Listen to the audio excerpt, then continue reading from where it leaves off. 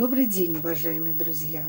Сегодня мы с вами продолжаем проходить тему по GMP Евразийского экономического союза.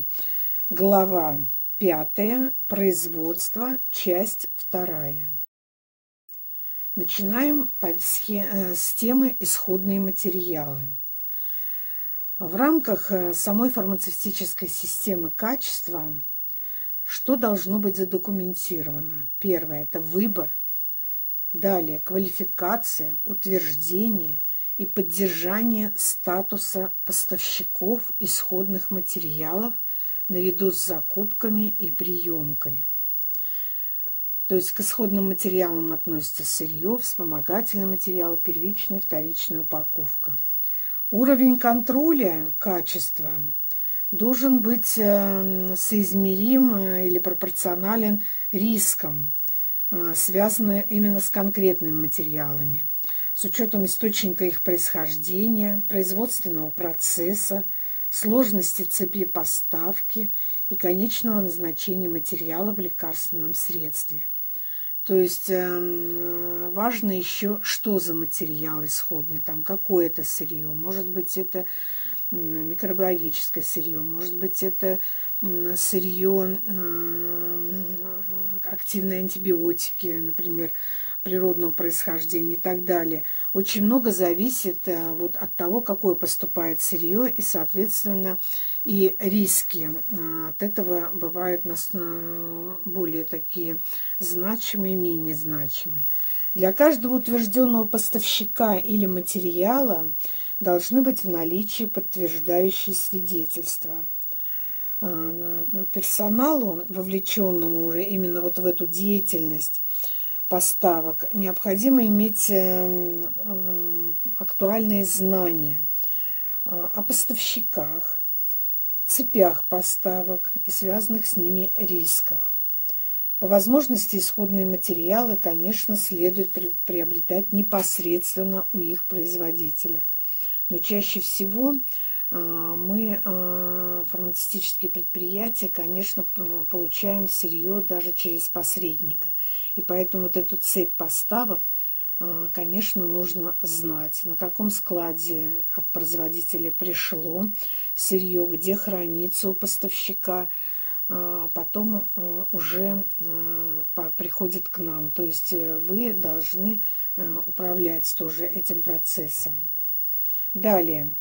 Требования к качеству исходных материалов, установленные именно производителем лекарственного препарата, должны быть согласованы с поставщиками. И вот соответствующие вот эти вот данные э, производства, испытаний, контроля, в том числе и требования к обработке, маркировке, упаковыванию и реализации – процедуры по рассмотрению претензий, отзыву и изъятию должны быть э, зафиксированы и отмечены в официальных соглашениях по качеству или спецификациях. То есть вы с поставщиком или э, э, с поставщиком, посредником или с производителем будете заключать контракт, и все эти моменты, именно перечисленные мною, не должны быть отмечены. А, вот именно или в самих соглашениях по качеству, или спецификации, которые являются приложением к контракту. Для утверждения, для утверждения и поддержания статуса поставщиков активных фармацевтических субстанций и вспомогательных веществ, что требуется? Разберем, что требуется для активных фармацевтических субстанций. Во-первых, должна быть установлена прослеживаемая цепь поставки. Связанные с цепью поставки должны быть отмечены риски от исходных материалов для, актив, для активной фармацевтической субстанции до готового лекарственного препарата. И каждый риск должен подвергаться формальной оценке и периодической проверке, насколько этот риск вами или управляем, и вы э, контролируете этот процесс.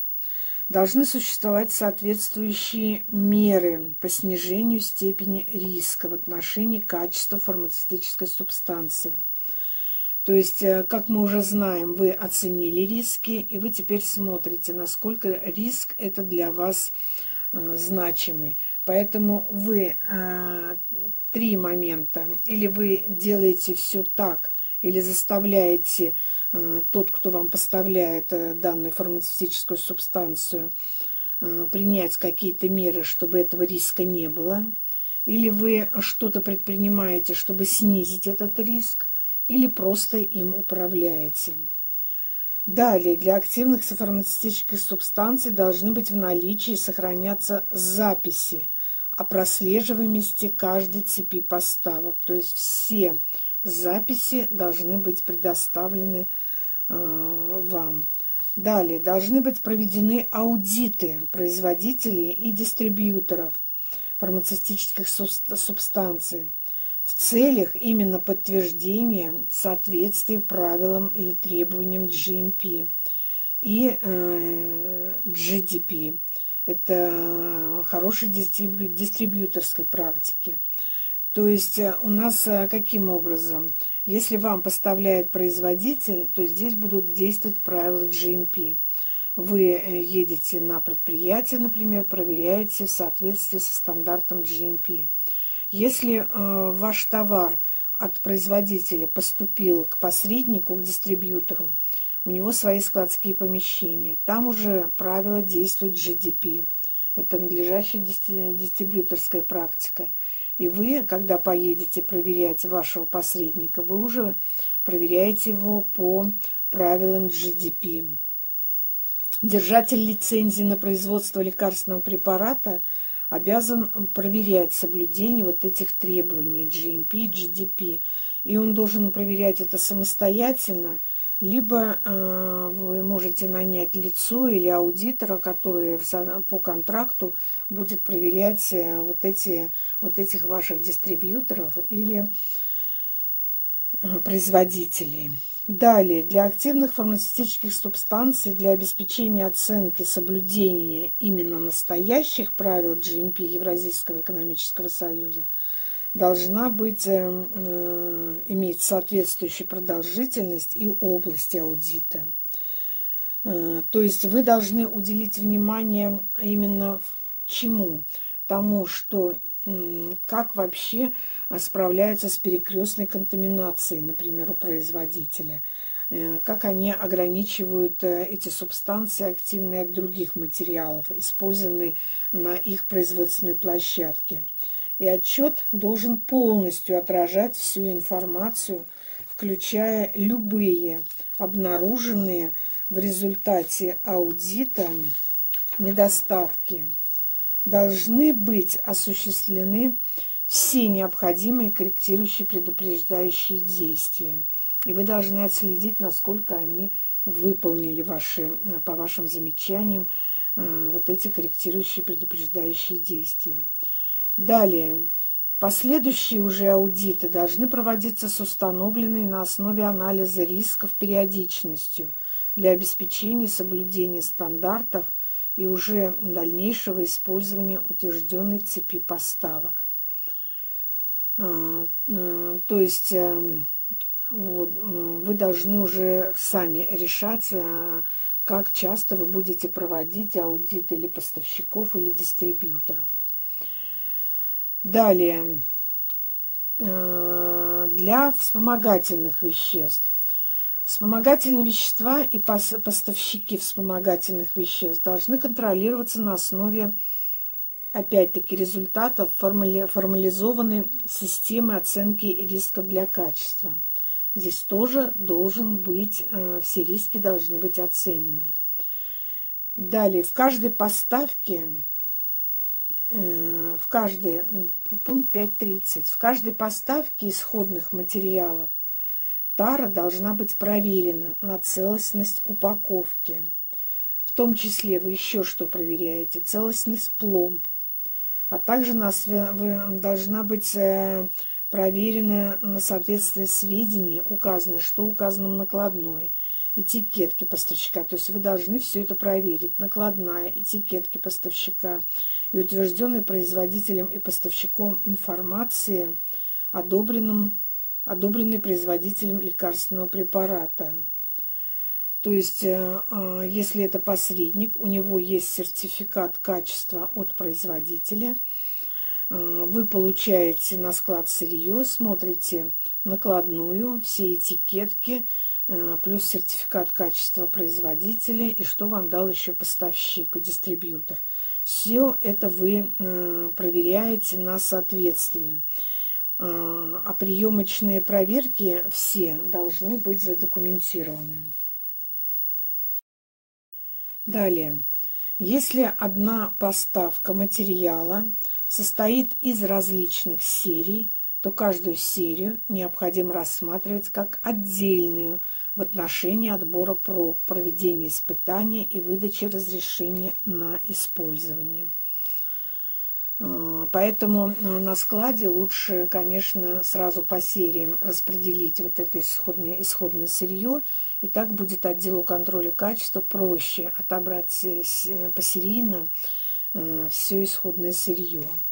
Далее, находящиеся в складской зоне исходные материалы должны быть соответствующим образом маркированы. Ну, здесь ссылка идет на пункт 5.13. То есть э, э, этикетка на вашем предприятии должна быть единая. И что на, этику, на этикетке обычно э, требует стандарт? Это наименование продукции, при необходимости внутризаводской код. Далее номер серии, присвоенный при получении уже товара. Статус содержимого, где применимо, например, карантине находится, на испытании, разрешено, отклонено, как у вас предусмотрено на вашем предприятии, такую статусную этикетку вы и ставите. Далее, срок годности или дата, после которой требуется повторный уже контроль, где применимо. И если используются полностью компьютеризированные системы хранения, то указанная информация не обязательно должна содержаться на, на этикетке в читаемой форме. Там все вы смотрите в компьютере. Далее, должны быть определены соответствующие процедуры или меры, гарантирующие подлинность содержимого каждой единицы тары исходных материалов. А, уже тара, из которой будут отобраны пробы, должна быть, естественно, промаркирована. И согласно пункту 6.13 э, части 1 вот, настоящих правил. То есть, э, если серия состоит, например, из 40 э, тарных мест, то отдел контроля качества высчитывает, сколько ему нужно будет из, из, из скольки из количества тар взять э, на пробу исходное вещество и э, берет из каждой тары, и эту тару, естественно, промаркирует, что оттуда взяла, взята проба. Далее. Следует использовать только те исходные материалы, использование которых разрешено подразделением контроля качества и срок годности которых еще не истек. Это как бы важный момент, за этим должны следить и производственные подразделения, и складские подразделения, и, естественно, контроль качества. Далее. Производители готовой продукции несут ответственность за все испытания исходных материалов, которые указаны в регистрационном досье.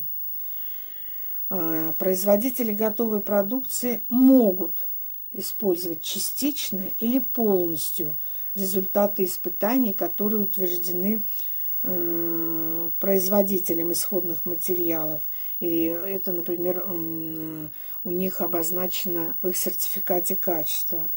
Но они должны, э, но э, те, кто получает это исходное сырье, должны как минимум выполнить испытание на подлинность каждой серии согласно приложению номер 8 данного стандарта. То есть э, э, бывает такое, что, например, вы проверяли своего производителя, поставщика исходных материалов, вас все устраивало, вы очень много с ним проработали, сырье поступает качественное и так далее. И вы в конечном итоге принимаете решение, что вы будете принимать исходное сырье от данного производителя по сертификату качества. Да, это разрешается, но на подлинность вы обязаны будете просто проверять каждую серию согласно данного стандарта. Далее. Обоснование передачи испытаний на исполнение сторонней организации, ну, то есть другой лаборатории, например, на стороне. И это все должно быть оформлено документально. И должны быть соблюдены какие требования, если вы отдаете на испытание своего исходного, исходных своих материалов в другой лаборатории. Первое. Следует уделить особое внимание контролю за распределением, транспортированием, оп оптовой реализацией, хранением и поставкой исходных материалов в целях поддержки характеристик качества исходных материалов – и обеспечение того, чтобы результаты испытаний были по-прежнему применимы именно к поставленным материалам. Второе. Производитель лекарственного препарата должен проводить аудиты э, площадки или нескольких площадок, которые осуществляют испытания ваших исходных материалов, в том числе и отбирают пробы, как самостоятельно, так и через третьих лиц – с, э, должны установить периодичность данных аудитов и э, с учетом э, определенных вами рисков. Это необходимо для гарантии соответствия требованиям GMP, правил GMP, спецификации и методам испытаний, описанным в регистрационном досье. То есть вот такое одно из требований к, к, к другой лаборатории, которая проводит вам данные а, проводит вам анализы вашего исходного сырья. Третье. Сертификат анализа, уже представленный производителем или поставщиком исходных материалов, должен быть подписан назначенным лицом соответствующей квалификацией и опытом. А, это нужно вам, вам принимать э, при приемке, и если вы отдаете сторонней организации такой сертификат – качества должен подписан с их стороны уполномоченным таким лицом или назначенным лицом. Подпись гарантирует для вас, что каждая серия была проверена на соответствие э, согласованной спецификациям исходных материалов, если такое свидетельство не представлено отдельно. То есть вы находите эту лабораторию, отдаете свою спецификацию, и в соответствии с этой спецификацией э, сторонняя лаборатория вам проводит все анализы. Четвертое. Э, какие требования к сторонней лаборатории? Производитель лекарственного препарата, то есть фармацевтическое предприятие, должен иметь соответствующий опыт работы с производителем исходных материалов, в том числе если проходит это через дистрибьютора. Что включает? Включающий оценку ранее полученных от него серий исходных материалов – и историю их соответствия для принятия решения о сокращении объема собственных внутренних испытаний. Следует учитывать любые существенные изменения в процессах производства или испытания. То есть то, что я говорила. Если у вас э, история с, э, с работы, э, по работе с данным поставщиком, дистрибьютором исходных ваших материалов или производителем исходных материалов, то вы должны смотреть статистику. Если у вас э, э, приходило сырье хорошего качества, э, то вы можете сократить количество испытаний по некоторым показателям. Пятое. Производитель лекарственного препарата – то есть это фармацевтическое предприятие, должен также осуществлять самостоятельно или с использованием отдельной утвержденной контрактной лаборатории, должен осуществлять полный контроль с периодичностью, определенной с учетом рисков, и сравнивать результаты с сертификатом анализа поставщика или производителя исходных материалов для того, чтобы проверить, что поставщик у вас надежен. То есть вы э, периодически делаете полный контроль для того, чтобы проконтролировать вашего поставщика исходных материалов. Если в ходе испытаний выявляются какие-либо расхождения, расхождения, которые установлены в сертификате качества а, поставщика исходных материалов и ваших, то это э, расхождение должно расследоваться и приняты соответствующие меры. Сертификаты анализа поставщика или производителя исходных материалов – не принимаются до тех пор, пока эти меры не будут завершены. То есть вы должны связаться будете с поставщиком ваших исходных материалов, разрешить все эти меры. И в производство пока вы данное сырье брать не будете. Далее. Исходные материалы должны выдаваться только специально назначенным лиц, лицами, назначенными лицами в соответствии с документально оформленной процедурой. А, и подпись этого назначенного лица будет гарантировать, что нужные исходные материалы точно отвешены или отмерены в чистую и надлежащим образом маркированную тару. То есть должен быть тотальный такой контроль. Далее, каждый выданный материал, его масса или объем должны подвергаться независимой проверке с записью результатов. То есть э, кто-то взвесил, другой человек, э, даже если на, на производстве или на складе, проконтролировал, записал результаты. Исходные материалы, выдава, выданные для каждой серии – должны храниться в одном месте и иметь соответствующую маркировку. То есть вы должны хранить или посерийно эти материалы. Посерийно э, имеется в виду серия на получение лекарственного препарата. И исходные материалы должны быть отвешены, э, установлены и скомпонованы именно для данной серии. Технологические операции рассматриваем. Какие технологические операции могут быть? Это для, по промежуточной продукции и нерасфасованной продукции. Перед началом любой технологической операции должны быть приняты меры, которые будут нам гарантировать, что рабочая зона и оборудование очищены и освобождены от любых исходных материалов, продукции, остатков продукции или документации, которые не имеют отношения к запланированной операции. То есть вы проверили, что зона оборудования, место рабочее все чистые и записали, что все очищено. Промежуточную нерасфасованную продукцию следует хранить в надлежащих условиях. То есть если у вас, эм, например, требования к вашему лекарственному препарату описаны в вашей нормативной документации, это, например, э, или фармакопейной статье, как раньше это называлось, и там есть условия хранения, то и промежуточную, и нерасфасованную продукцию вы должны хранить точно так же.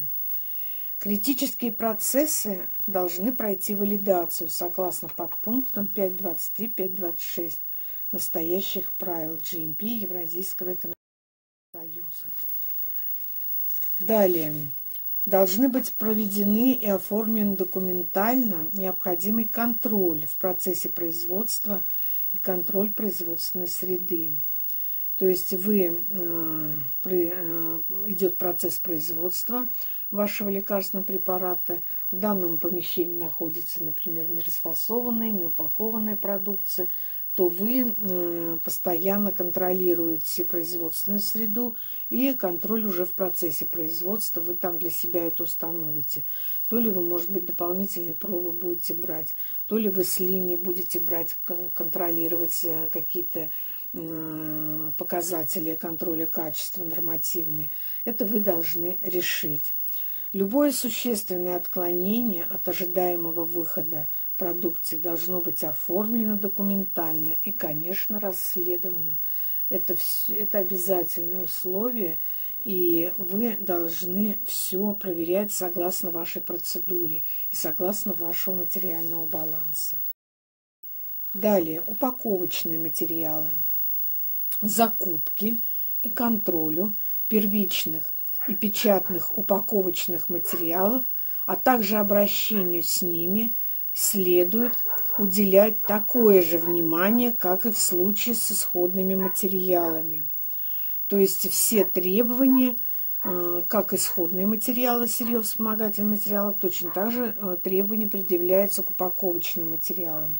Особое внимание следует уделять печатным материалам. Их следует, во-первых, хранить в надлежащих условиях, в которые исключается доступ посторонних лиц. Разрезанные этикетки и другие разрозненные печатные материалы должны храниться и транспортироваться раздельно в закрытой таре, из которой исключает э, перепутывание.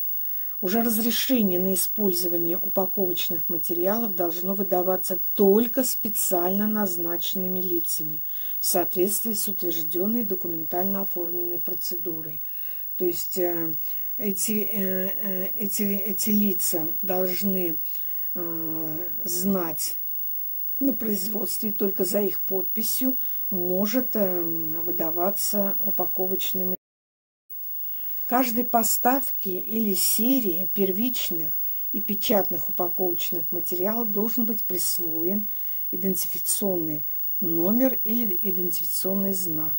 Ну, первичный, вы знаете, упаковочные материалы, это, это материалы, э, тара, в которую непосредственно фасуется э, препарат лекарственный, который соприкасается с этой тарой. Это может быть туба, банка, пленка для упаковки таблеток, э, пакетики для упаковки, например, сыпучих каких-то лекарственных препаратов.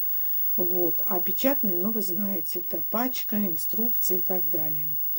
Далее, просроченные и не, или непригодные к использованию печатные и первичные упаковочные материалы должны быть уничтожены и должен быть составлен документ, какое количество уничтожено, Э, для того, чтобы э, свести, во-первых, материальный баланс и знать, что э, данные уже печатные и первичные упаковочные материалы не, подаду, не попадут на производство. Далее рассматриваем операции по упаковке. При составлении планов операций по упаковке – Особое внимание должно быть уделено сведению к минимуму риска перекрестной контаминации, перепутыванию или подмены. Не допускается упаковывать продукцию различных видов в непосредственной близости друг от друга, за исключением случаев, э, предусматривающих физическое разделение. То есть, э, если у вас на, на производстве стоит несколько упаковочных и расфасовочных линий, то э, вы э, лучше, конечно, это если отдельное помещение, вы там упаковываете тот, тот, то лекарственный препарат, который вам необходим. Но если у вас э, несколько расфасовочных материалов, а чаще всего бывает упаковочных, когда уже во вторичную упаковку несколько линий стоит, то вы должны физически их все-таки разделить. Или какими-нибудь э, заграждающими переносными конструкциями для того, чтобы не было перепутывания э, между этими линиями. Перед началом операции по упаковке должны быть предприняты меры, гарантирующие, что рабочая зона чистая. Э, это могут быть э, упаковочные линии, печатные машины, ну, другое оборудование. Вы должны проверять, что они чистые, что этим э, оборудование не содержит любые использовавшие ранее лекарственные препараты, материалы или документы, если они не требуются для вот данной расфасовки уже и данной запланированной операции – Очистку следует проводить согласно соответствующей процедуре и сделать обязательно записи, что линия очищена. Далее. Наименование и номер серии упаковываемой продукции должны быть указаны на каждом упаковочном месте или линии. То есть идет расфасовка, должна быть маркировка, что упаковывается, какой серии, в каком количестве. Это требование стандарта GMP Европейского Союза. Далее, при поступлении продукции и упаковочных материалов на участок упаковки обязательно следует проверить их количество, проверить идентичность, что пришло именно то, что вы хотите упаковывать сейчас – и э, соответствующие инструкции по упаковке тоже должны быть. Далее, материалы первичной упаковки, это вот как раз баночки, там тубы и так далее, они должны быть чистыми до начала операции наполнения. Здесь э, следует очень внимательно относиться и устранять любую контаминацию что это может быть? Это осколки стекла, металлические частицы, грязь какая-то. То есть э, э, вы должны там, где у вас первичные упаковочные материалы, должны проанализировать все риски, где у вас может такое быть попадание. Потому что недавно только вышел материал, Э, за рубежом, в, Евразийском, в Европейском Союзе упаковали серию и продали ее на рынок, а там оказались осколки стекла. Это вообще недопустимо. Далее, как правило, маркировку следует наносить как можно быстрее после фасовки или укупорки. А уже до нанесения маркировки необходимо принять меры, которые исключают перепутывание или ошибочную маркировку. То есть не должно быть так, что вы расфасовали, например, баночки вот те же, оставили их не э, промаркированными, вот, оставили э, и э, Далее идет процесс накопления, а потом следующая смена пришла, установила, например, этики, этики, этикировочный автомат и стала брать вот эти баночки для нанесения этикеток. Но может быть такое, что рядом стояли еще другие баночки с другим раствором, и может произойти перепутание. Поэтому требование стандарта как можно быстрее проводить данную маркировку. Правильность выполнения любых печатных операций, это нанесение номеров серии, срока годности, осуществляется либо как отдельная технологическая операция, либо в процессе упаковки следует тщательно контролировать и оформлять документально. То есть серию и э, срок годности – должно установить лицо, чаще всего это бывают представители контроля качества, устанавливают, э, пишут это, например, в маршрутной карте и ставят подпись, кто это установил. Особое внимание следует уделять ручной маркировке, которую следует э, регулярно перепроверять. Особые меры предосторожности – Особые меры предосторожности должны соблюдаться при использовании нарезанных этикеток. Особые меры предосторожности должны соблюдаться при использовании нарезанных этикеток и нанесении штампов вне линии. А, здесь э, для предотвращения именно перепутывания печатного материала предпочтительнее использовать этикетки лучше в рулоне вместо нарезанных, потому что нарезанные, а, а уж если вы нарезанные этикетки уже пропечатанные, то их, конечно, за ними нужно особый контроль. И если вы расфасовали, у вас остались эти пропечатанные этикетки, их, конечно, нужно упаковать, сдать на склад и подготовить, например, к уничтожению, потому что этой же серии вы, естественно, упаковывать больше не будете. вот. И для того, чтобы не было контрафактной продукции, чтобы не, не распечатали а, под данной серии еще какой-то препарат, э, лучше, конечно, их уничтожить.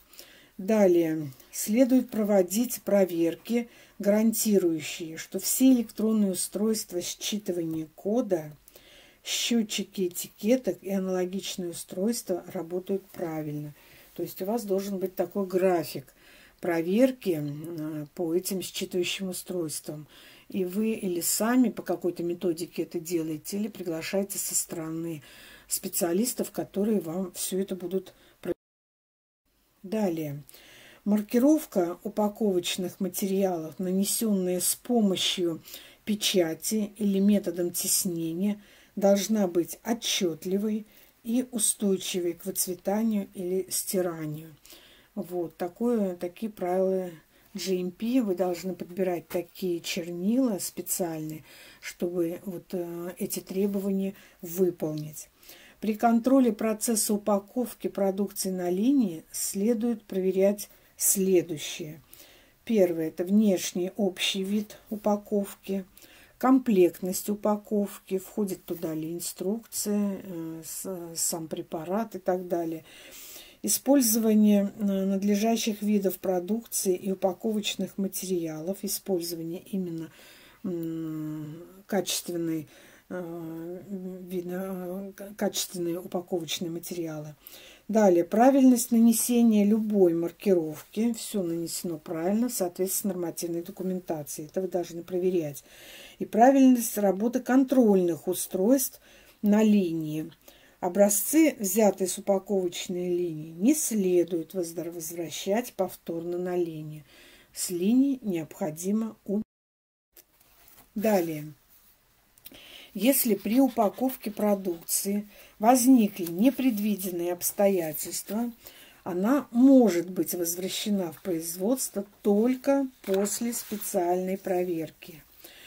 А, то есть сначала нужно провести расследование из разрешения ответственного лица или уполномоченного, и имеющие да, э, уполномоченного лица, только после его разрешения можно э, взять в производство.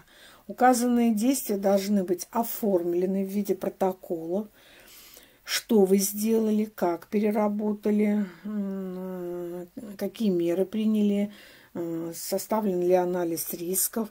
И э, все эти записи нужно хранить в установленном порядке. Далее.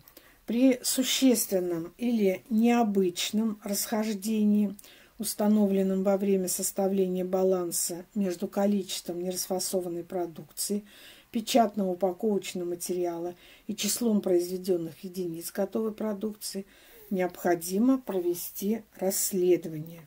Установить, конечно, причину этого расхождения до выдачи разрешения на выпуск. Э, вот э, когда я была на аудитах, э, проверяла материальный баланс, именно в картах, маршрутных картах, этот материальный баланс иногда были расхождения, но почему-то ответственные лица за этим не смотрели. Очень внимательно нужно это все проверять, потому что аудитору проверить это совершенно несложно. Далее. После завершения операции по упаковке любые оставшиеся упаковочные материалы с нанесением на них номером серии должны быть уничтожены с последующим документальным оформлением. То, что я вам как раз и говорила. Возврат на склад немаркированных упаковочных материалов производится в соответствии с утвержденной процедурой. Если не промаркированные упаковочные материалы, вы их спокойно можете вернуть на склад, упаковать соответствующим образом и потом применять для следующей серии. Далее готовая продукция. До выдачи разрешения на выпуск готовая продукция должна содержаться в карантине э, в условиях, установленных производителем. То есть э, а, если вы, например, произвели серию, то ее нужно хранить в надлежащих условиях. Если это производственный склад, то там должны быть условия, ну, которые установлены нормативной документацией на готовую продукцию. Соответствующая температура, там влажность э, и так далее. Или же вы э, выделили карантин на основном складе, где именно надлежащие условия, там храните эту продукцию до окончания контроля качества. До момента получения разрешения на выпуск должна быть проведена оценка готовой продукции. Помимо этого, оценка документации именно в порядке, установленные в главе 6 данных правил. Далее. После выдачи разрешения на выпуск готовая продукция должна храниться как пригодный для реализации запас в условиях, установленных производителем. То есть э, мы должны всю готовую продукцию хранить в соответствии с условиями хранения, описанными в нормативной документации. Это э, может быть э, и на предприятии на самом, как хранится. Если вы передаете на какой-то промежуточный склад, там тоже должны все выполняться вот эти надлежащие условия. Далее. Отклоненные материалы и продукции должны иметь четкую маркировку и храниться раздельно в зонах с ограниченным допуском. Такая, доступом. Такая зона может быть э, определена как на производственном складе, так и на складе готовой продукции. Отклоненные материалы, здесь имеется в виду и сырье тоже, э, на сырьевым складом тоже есть зона, э, зона, где отклоненные сырьевые материалы. И вот эти, если это сырьевые материалы, то они должны э, подлежать возврату поставщику, переработке, если это допустимо, или просто уничтожению. Опять-таки здесь составляются соответствующие документы, акты, и в соответствии с поставщиками исходных материалов это все оформляется. Любые выполненные действия должны быть оформлены документально, как я уже говорила, и утверждены лицами, соответствующие, которые имеют соответствующие полномочия. Далее. Переработка отклоненной продукции допускается только в исключительных случаях при условии отсутствия ухудшения качества готовой продукции и выполнение всех требований спецификации. Переработку как можно осуществлять? Только э, сначала провести оценку риска с документальным оформлением. И после того, как вы, э, проведя анализ рисков, увидите, что у вас качество не должно ухудшиться, вот тогда только вы можете брать в переработку данную продукцию. Повторное использование всей серии или части ранее произведенных серий соответствующего качества путем объединения с серией такой же продукции на определенной стадии производства должно быть санкционировано заранее. То есть, если вы знаете, у вас осталось, например, предыдущий или полупродукт, или серии, э, полупродукт, и вы э, э, уже может, должны соединиться уже с новой серией этот полупродукт или там вот. И такое введение следует осуществлять, во-первых, должна быть четко прописанная процедура, как это делать, именно с учетом анализа рисков – и включая, э, вы должны определить, э, как возможно будет влиять вот это соединение двух э, серий на срок годности. Потому что одна серия была произведена ранее, другая чуть позже. Должны здесь четко определить, какой срок годности вы ставите. деятельность по повторному использованию вот данного, например, полупродукта следует обязательно оформлять документально. Далее. Необходимость дополнительного контроля любой готовой продукции, которая прошла переработку, или продукции, в которую была включена повторно использованная продукция, определяет подразделение контроля качества. Поэтому здесь должно быть все прописано, и они э, дают заключительное решение или уполномоченное лицо. Возвращенная уже с рынка продукции, над которой был утрачен контроль со стороны производителя, должна быть уничтожена. Но есть исключения. В тех случаях, когда нет сомнений, что ее качество является удовлетворительным. Решение о повторной реализации, перемаркировке или повторном использовании может быть принято только после анализа рисков или анализ критической оценки, которая проведена э, контролем качества в соответствии с письменной процедурой. При этом что необходимо учитывать? Это характер продукции, ее предысторию и состояние, соблюдение специальных условий хранения и время, прошедшее с даты выпуска. При любых сомнениях в отношении качества продукции не допускается ее повторное использование или повторный выпуск.